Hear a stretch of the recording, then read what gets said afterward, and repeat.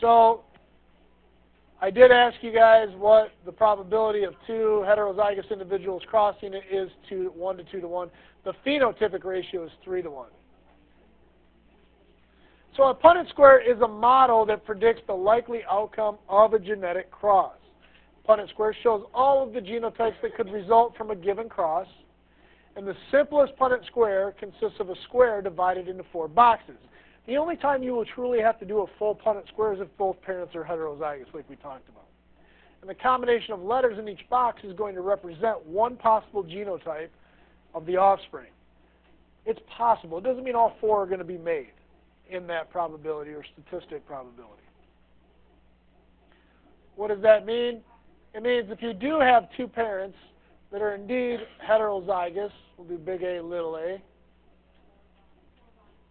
Okay, and we cross them. One parent will go here, either giving an A or a little a. The other parent will go here, either giving a big A or a little a.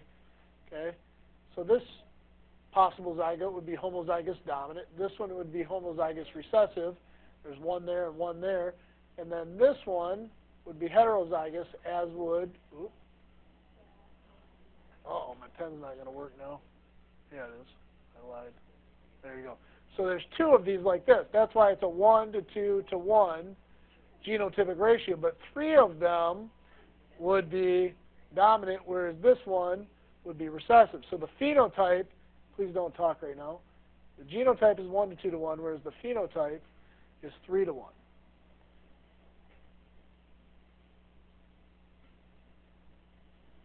So in a monohybrid homozygous cross, all offspring will be heterozygous. That means if I cross the two parental pure generations, all F1 will be big little, dominant recessive. But we'll still express the dominant phenotype. Now in a monohybrid heterozygous cross, the genotypic ratio will be 1 to 2 to 1, and the phenotype, again, will be 3 to 1. Do you need to memorize that and know that? Yes, that needs to just be a, a given fact when we're talking about genetics. So over here we have a few of Mendel's little uh, deeds that he did.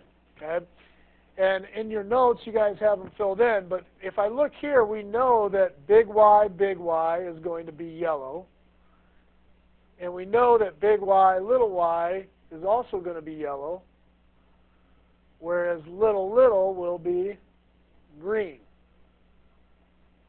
And this is what is known as Mendel's parental generation up here, right?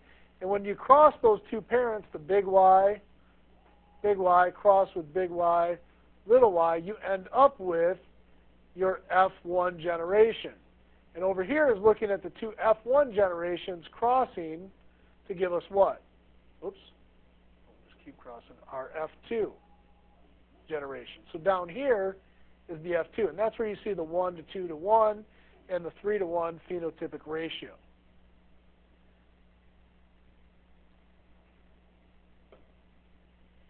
Now, a Punnett square shows the possible outcomes of a cross, but it can also be used to calculate probability within each outcome. So probability, again, is the likelihood that a specific event, or in this case, phenotype or genotype, will occur. It can, uh, probability can be calculated and expressed in many ways, sometimes as a decimal, words, percentage, or fraction. And whatever I ask you for, you need to give me that specific type. So if I say I want a percentage, I want 25%, not a decimal 0.25. Or I don't want one-fourth. Although they all mean the same thing, you need to give the correct uh, type of probability. Now, formulas can be used to predict the probabilities that specific alleles will be passed on to the offspring.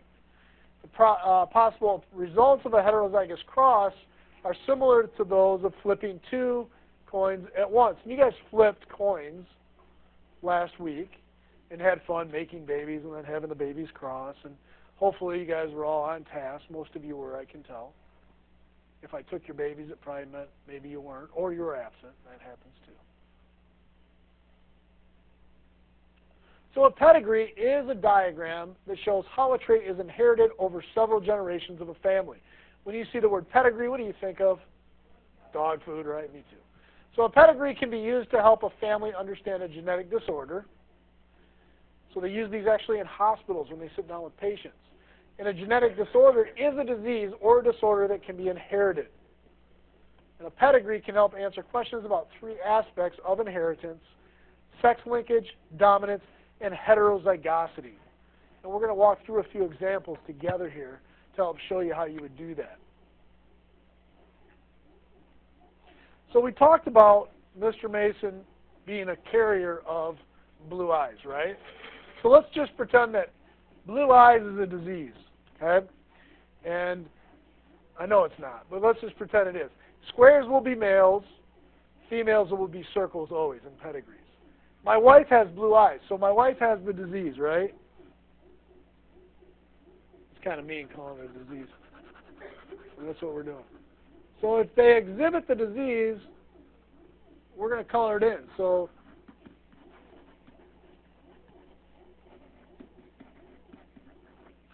So do I know my wife's genotype within this pedigree? Yeah, it's homozygous recessive, right? Do I know mine? Not necessarily, right? So we're pretending this isn't blue eyes. We're pretending it's a disease now. But let's say I look at my children. Looks like I have a daughter, two sons, and a daughter. I don't really, but today I get to have a son. That's kind of fun, right? I get two of them. So let's say they cross, and let's say this daughter has the blue eye disease. And let's say the son does, and let's just say his daughter does as well, just for fun. So I know if I had three children that had the disease, what do I know about me? That I'm a carrier, right? And then I would have to color in half of my pedigree. You guys get this? So it tells me I'm heterozygous. So I, dominance is going to be the white, whereas full in is going to be the recessiveness. Now, the other thing I need to do now is I can start to look at offspring. I know that all of these, let's say, let's say all of those are, are fine. None of those have the disorder. Okay? What do I know about them all if none of them have the disorder? What? Wouldn't my other son? Oh, yeah. Good, good observation. Because that would have had to come from here, right? And so I could then in turn, oh, that was the only other one. Very good. So just like here, that's the same idea I was getting at here. Even if these were all normal and had brown eyes, I, they would all be carriers, right? Now, if that were the case, if every time this individual over here, this male, who's brown eyes, gave a big one, what could we assume this other one is? Probably that, right? It's like kind of like doing a test cross. So we would say it's safe to assume he is not a carrier. Okay? And what if like even one of these children have the trait? What do I know about all the children? I knew they were all carriers because of the mom, but now I also know that the dad must be carrying right? Because otherwise I wouldn't end up with that individual. So we'll forget the fact that these grandchildren somehow met and they're having children, so we're going to ignore we're going to ignore that, okay? Let's pretend they're guinea pigs, right? So, or maybe from Kentucky. I don't know how that works. All right. Sorry, I can't resist the southern jokes. Okay, so the sex chromosomes X and Y are going to carry genes for many characters other than gender. Uh oh, now we're going to talk about sex chromosomes, which are different than autosomes. So far, all we've talked about is autosomes. Now, a sex-linked gene is located on either an X or a Y chromosome, and traits that are not expressed equally in both sexes are commonly what are called sex-linked traits. Color blindness is an example of a sex-linked trait that is expressed more in males than females. How many of you know a colorblind male? Raise your hand. Okay? Put your hands down. How many of you know a colorblind girl? You do? Yeah? That's rare. She's rare. I'll show you why. Okay? You know, they can be, but it's extremely rare. It's extremely rare. I'll show you why here.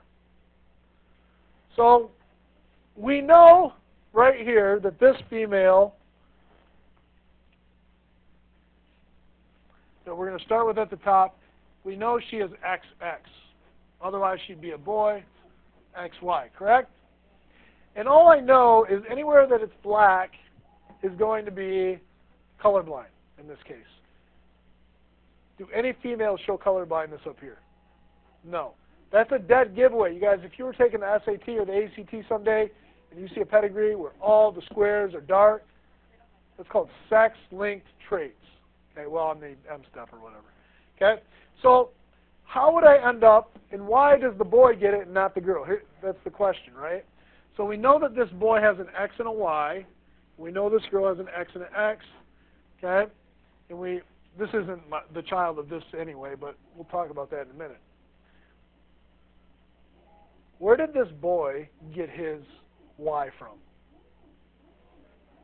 His dad, right? Where did this girl get her Y from, or her X from?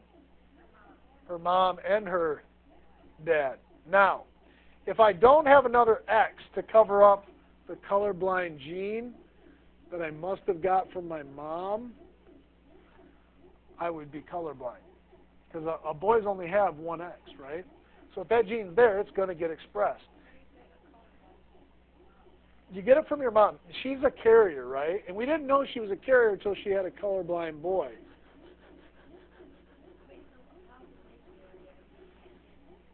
How do they carry it?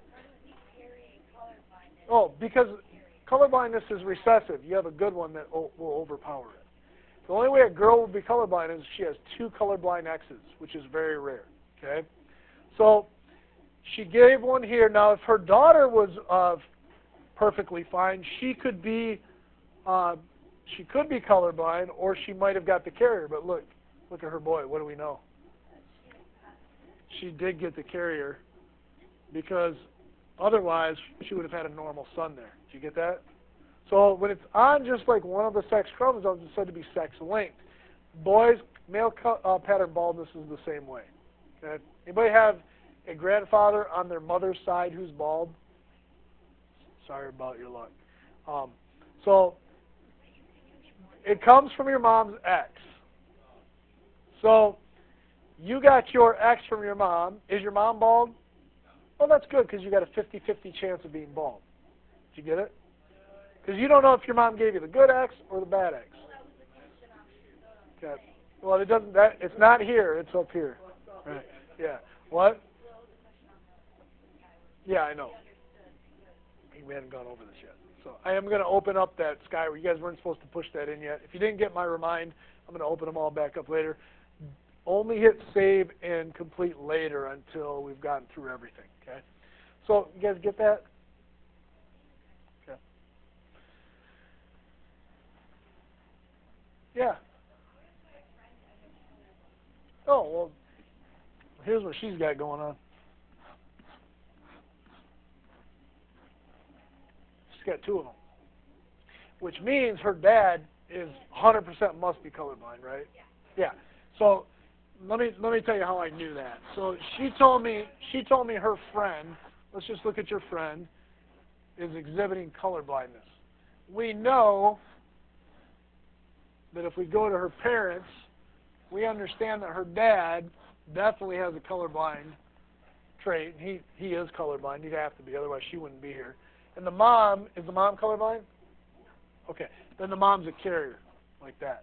Okay? You get that? So she got just bad luck for her. Carrie has. He doesn't have a. He will be colorblind. She will. She will not be. He will be. She will be. Okay. Okay. Yeah. 50-50. Oh, if they're colorblind? Yeah. Still 50-50 because you control. Well, it depends if it's a boy or a girl too, right? If it's a boy, it's 50-50. If it's a girl, it's like 1 to 2 to 1. What? So your dad's colorblind. You got an X from your dad, so you definitely at least are a carrier. I know you're just a carrier, otherwise you'd be colorblind.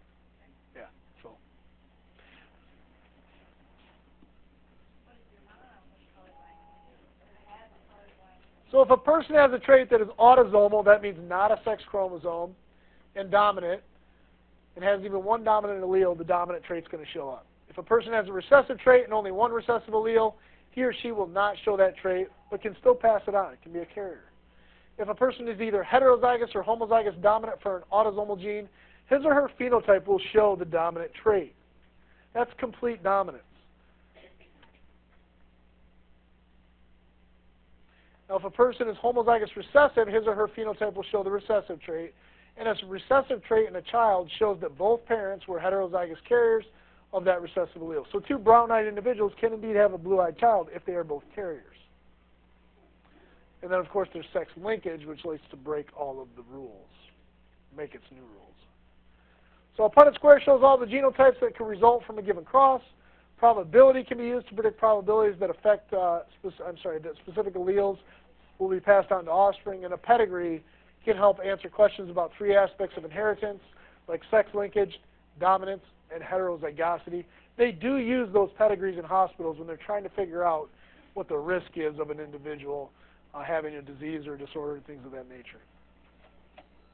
All right, you guys.